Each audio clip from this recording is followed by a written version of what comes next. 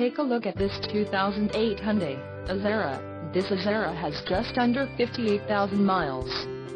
This vehicle has a limited warranty.